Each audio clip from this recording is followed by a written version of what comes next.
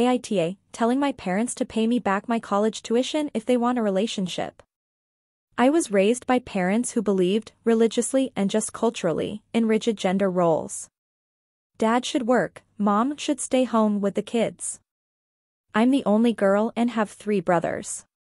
Because of their expectation I'd stay home with kids, they never valued my education, educational achievements or emphasized things beyond domestic skills. I'm the second youngest.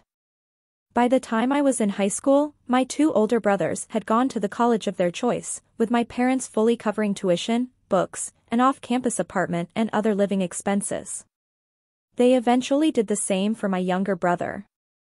I was told I wasn't allowed to apply for college. I did so in secret and got accepted with a partial scholarship.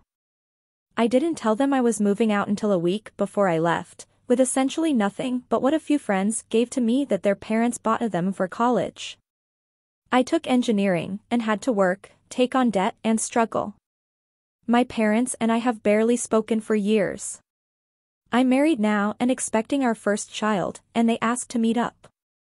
We met at a park, and they said they were I sorry if they caused me pain, but would like a relationship now. I asked them specifically what they were sorry for. They wouldn't elaborate and just said they wanted to move forward. I said that wasn't sufficient. In the end, I said they could prove they were sorry by forwarding me the $100,000 my degree and college expenses were, just like they did for my brothers. My mom burst into tears, my dad said I wasn't being serious and I just left. Since then, I've been getting calls from my brothers telling me I'm being immature and hurtful.